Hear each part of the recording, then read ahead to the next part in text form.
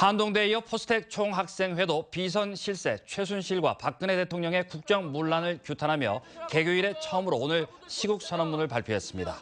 포스텍 총학생회는 과학도라는 변명으로 시국을 외면하기보다 용기를 내어 이제 포스텍 학생들이 외치고자 한다며 최순실 게이트 관련자들을 모두 철저히 수사해 진실을 규명할 것을 촉구한다고 밝혔습니다.